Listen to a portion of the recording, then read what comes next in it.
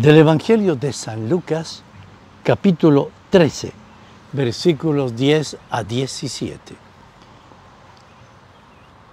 Un sábado enseñaba Jesús en una sinagoga. Había una mujer que desde hacía 18 años estaba enferma por causa de un espíritu y andaba encorvada sin poderse enderezar de ninguna manera. Al verla, Jesús la llamó y le dijo, mujer, quedas libre de tu enfermedad. Le impuso las manos y enseguida ella se puso derecha y glorificaba a Dios. Pero el jefe de la sinagoga, indignado porque Jesús había curado en sábado, se puso a decir a la gente, miren, hay seis días para trabajar, vengan pues a que los curen en esos días y no en sábado. Pero el Señor le respondió y dijo, hipócritas, cualquiera de ustedes no desata en sábado su buey o su burro del pesebre y los lleva a abrevar. Y a esta que es hija de Abraham y que Satanás ha tenido atada 18 años, no era necesario soltarla de tal ligadura el día sábado.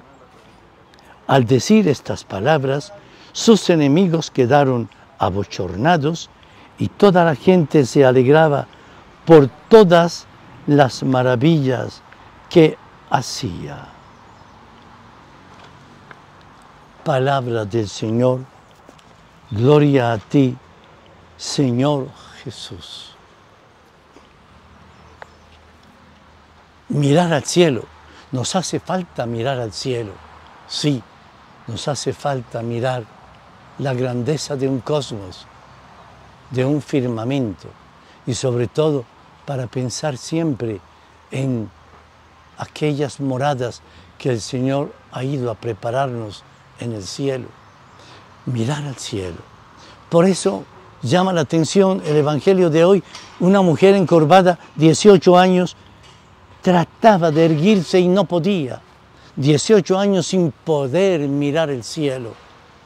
Hasta que Jesús la sana y ya ella puede erguida mirar la infinitud, tomar ya posesión de la plenitud de su mirada, mirar al cielo y expander entonces su esperanza y su amor.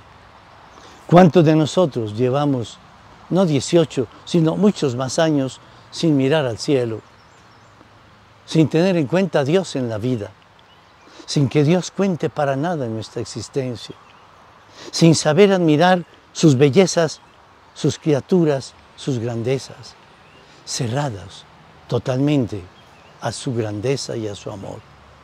Por eso hoy nosotros queremos suplicarle al Señor que también a nosotros nos sane y así nosotros podamos tener la mirada fija en Jesús, que es lo máximo de lo más grandioso, que es lo maravilloso de lo más magnánimo que es la plenitud de la vida.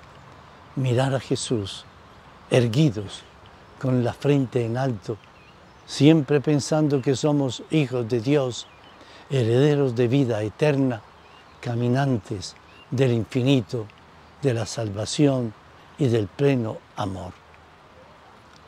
Nos bendiga el Señor hoy y siempre, en nombre del Padre, del Hijo y del Espíritu Santo.